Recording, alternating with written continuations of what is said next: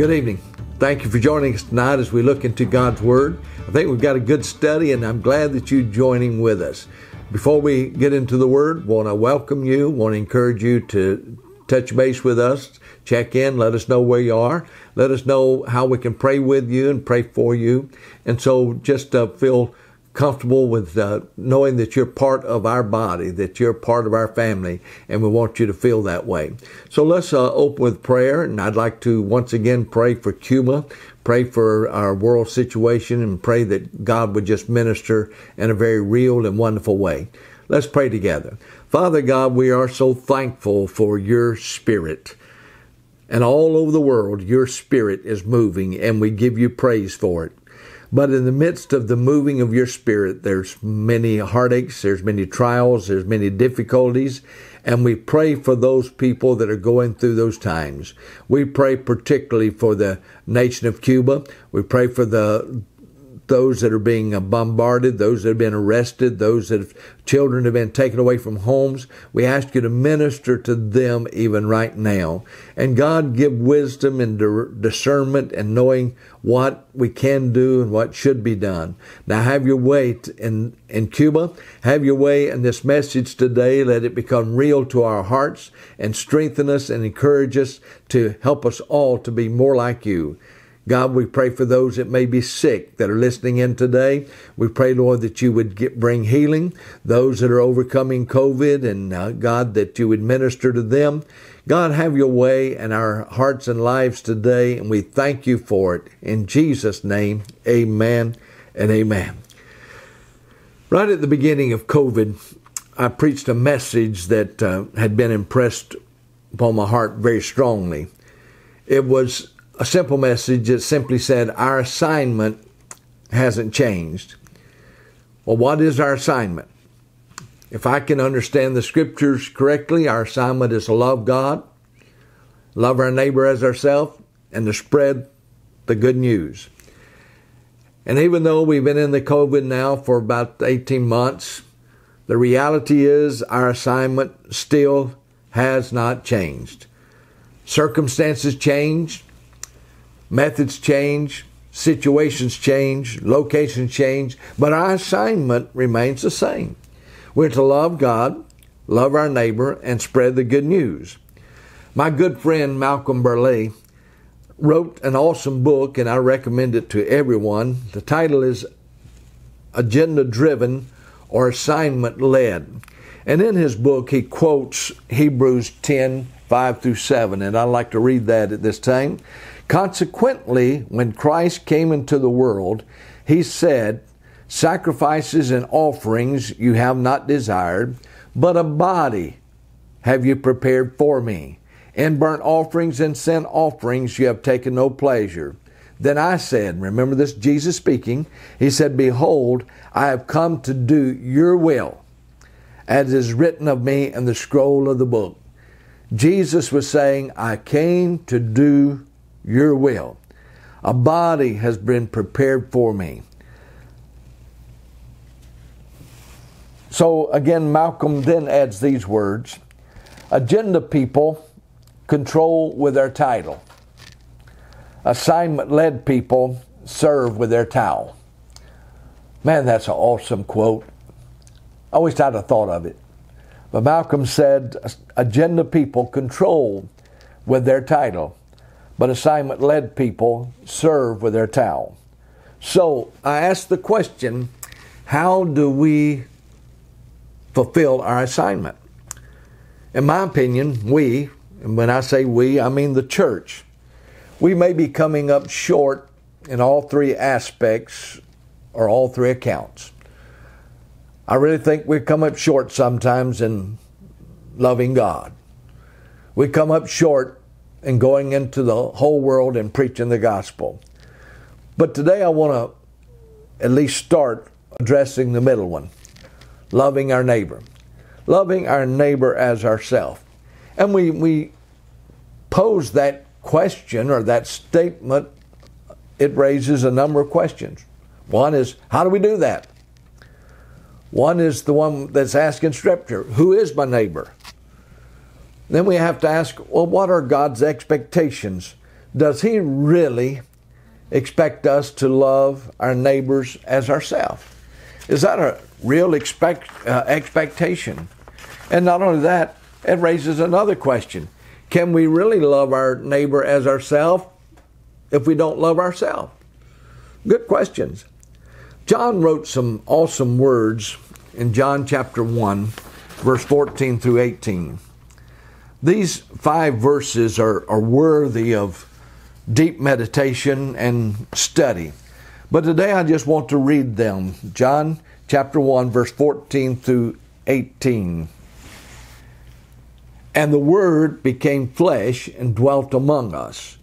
And we have seen his glory, glory as of the only Son, from the Father, full of grace and truth. Full of grace and truth. John bore witness about him and cried out, This was he of whom I said, He who comes after me ranks before me, because he was before me. For from his fullness we have all received grace upon grace. For the law was given through Moses, and here's those words again grace and truth came through Jesus Christ. Remember, said that the Father, full of grace and truth.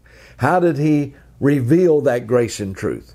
He revealed that grace and truth by sending Jesus Christ into the world to redeem us. And says, No one has ever seen God, the only God, who is at the Father's side he has made him known. So we realize that Jesus was sent into the world to reveal who the Father was, full of grace and truth. Now, I want to share with you the scripture that Eugene Peterson writes in the message. This uh, scripture is from his perspective, but I like the way he writes this message. And so I want to read it from the message. It says, The Word became flesh and blood and moved into the neighborhood. I love that. Jesus became flesh and blood and moved into the neighborhood. It goes on to say this We saw the glory with our own eyes, the one of a kind glory like Father, like Son, generous inside and out, true from start to finish. John pointed him out and called, This is the one, the one I told you coming after me, but in fact was ahead of me. He was always been ahead of me, has always had the first word. We all live off his generous bounty, gift after gift after gift. We got the basics from Moses, and then his exuberant giving and receiving, this endless knowing and understanding. All this came through Jesus the Messiah. No one has ever seen God, not so much as a glimpse. This one of a kind God expression, who exists at the very heart of the Father, has made him plain as day. Wow, how great is that? And again, I go back to those words the Word became flesh and moved into the neighborhood. If we're going to be talking about loving our neighbor, we have to understand that Jesus became flesh and moved into our neighborhood so that we would see what it means to love our neighbor. John speaks a lot about Jesus, and he speaks a lot about Jesus and the Father, but he may have summed it up best in John chapter 14, where he speaks these words. John chapter 14, verse 6. Jesus said to him, I am the way, the truth, and the life. No one comes to the Father except through me. If you have known me, you would have known my Father also. From now on you do not you do know him and you have seen him. And Philip said to him, Lord, show us the Father and it is enough for us.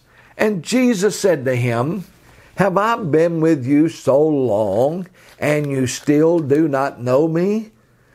Philip, whoever has seen me has seen the Father. How can you say, Show us the Father? Do you not believe that I am in the Father, and the Father is in me.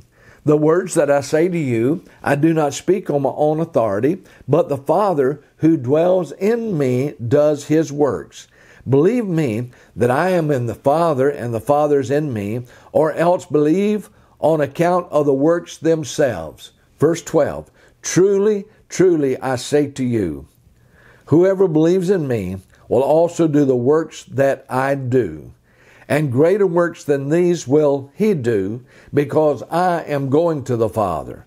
Whatever you ask in my name, this will I do, that the Father may be glorified in the Son. If you ask me anything in my name, I will do it. I don't know if you caught the gist of it, but when it talks about loving God and loving our neighbor, and we're to love our neighbor as ourselves, we follow the example of Jesus. Jesus is the way, the truth, and the life. And so, if we're going to be followers of Christ, that's part of the uh, picture that we've got to have drawn. See, we're, we're called Christians. We that are believers are called Christians. Now, the word Christian is only used three times in the New Testament, of course, none in the Old Testament. But Unger's Bible Dictionary states it this way Becoming a Christian, according to the New Testament, is a definite act which signifies, or excuse me, with significant results. Let me read that again. Becoming a Christian, according to the New Testament, is a definite act with significant results. Of course, we understand the words to be like Christ. When visiting Israel, I was amazed at the looking out our tour bus and walking down the streets. I constantly saw groups of people that were dressed alike. They had uh, one thing that made them unique is all of them had different styles of hats. And I asked the guide, I said, uh, why are they like that? And he said, well, they dress and act like their rabbi. They dress and act like their rabbi. If we're followers of Christ, now I don't want to get into clothesline preaching, but I think you understand when, it's, when I say we're to dress and act like Christ. We're to be His representative. People see Jesus through us. The term Christian originally was a derogatory term. Now, I was kind of surprised. I should have known this, but I, I, I, it didn't register because I've always thought of Christians being a positive. We're Christians. But uh, Christian uh, originally was a derogatory uh, term that was used by the non believers. It was not used by the church, it was not used by Christians, it was used by the world. And the Acts 11 tells us of the origination of the word Christian. Acts chapter 11, verse 20. Acts chapter 11, verse 20. But there were some of them, men of Cyprus and Cyrene, who, on coming to Antioch, spoke to the Hellenists, also preaching the Lord Jesus. And the hand of the Lord was with them, and a great number who believed turned to the Lord, or we could say became Christians. The report of this came to the ears of the church in Jerusalem, and they sent Barnabas to Antioch. When he came and saw the grace of God, what did Jesus come? Bring grace and truth, the grace of God. He was glad and he exhorted them all to remain faithful to the Lord with a steadfast purpose or to stay on assignment. For he was a good man, full of the Holy Spirit and of faith, and a great many people were added to the Lord. So Barnabas went to Tarsus to look, look for Saul. Saul had been out of uh, circuit for a while. He had been converted, gone down to Tarsus, but Barnabas went to get him. And when he found him, he brought him to Antioch. And for a whole year they met with the church and taught a great many people. And in Antioch, the disciples were first called Christians. Now, again, they were called by other people as those people. Those people. Now, when we start talking about neighbors, we realize that that's kind of one of those phrases we often use. Those people, they're, they're different. They don't look like us. They don't dress like us. They're different. They're those people. But the reality is God wants us as Christians to be loving on those people, regardless of what those people signify, regardless of how different they are. God has asked us to do that. Now, over at near the close of the book of Acts, we find where Paul is before King Agrippa. And it says, uh, as he was before King Agrippa, he said these words For the king knows about these things, and to him I speak boldly. For I am persuaded that none of these things has escaped his notice, for this had not been done in a corner. King Agrippa, do you believe the prophets? I know that you believe. And Agrippa said to Paul, In a short time, would you persuade me to be a Christian? Would you persuade me to be one of those?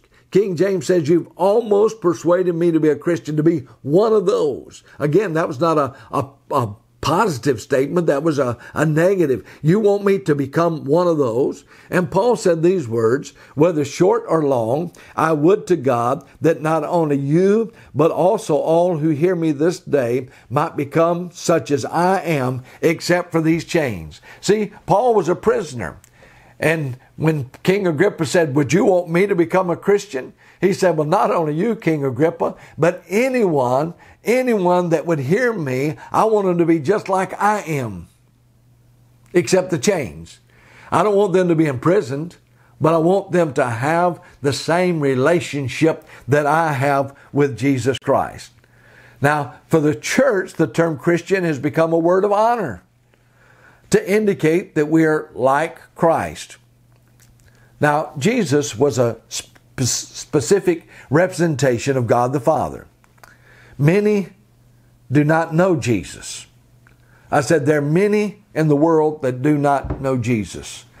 I've said this quite a bit lately because it ties in with our assignment that we're to take the gospel to all nations. Because while we are anticipating the second coming of Christ, many people in the world today are still waiting for him to come the first time because they've never heard the story of Jesus. Many do not know Jesus, but they know you. They know me. And you and I have to be the representation of God's grace and God's love. Jesus came to reveal God, full of grace and full of love. We have received Christ and have become Christians, Christ like.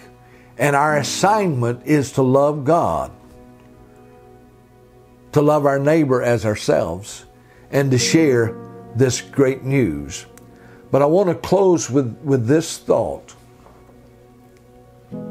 You may be the only Bible someone is reading. You say, well, I don't know how you say that. Well, Paul said it first. He said, We're all living epistles. Now, the word epistle does not mean disciple.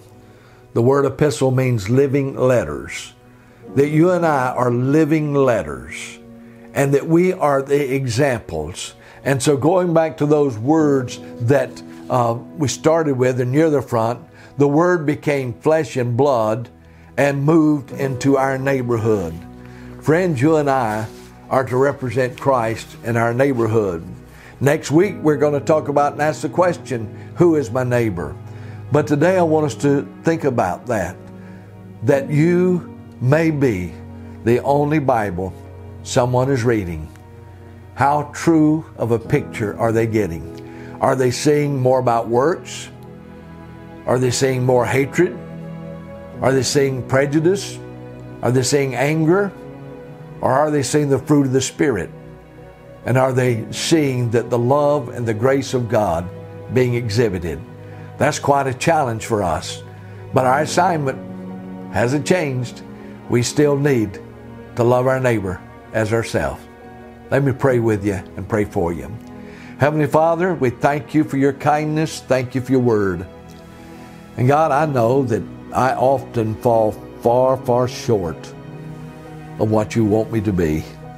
And that's certainly not your fault. That's my fault of a failure to walk in the Spirit. But God, I ask you to help me. Help me to realize that you've brought me into my neighborhood. You've brought me into my Jerusalem.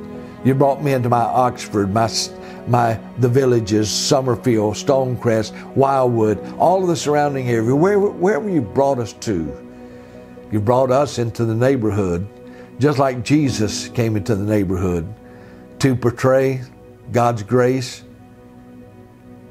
and God's love. Help us to fulfill that assignment. And God, we thank you for it. And God, I know that this message is for the church. I know it's for those, Lord, that know you. But if there are those that do not understand and know the love and the grace of God, I ask you to reveal yourself to them. Let them be ministered to by your Spirit, then by the body of Christ, so that they too may become a Christian, someone following their rabbi. God, we give you praise for it, give you honor. In Jesus' name, amen. Thank you for joining. Lord bless you. Uh, next week, we're going to pick up there. Who is my neighbor?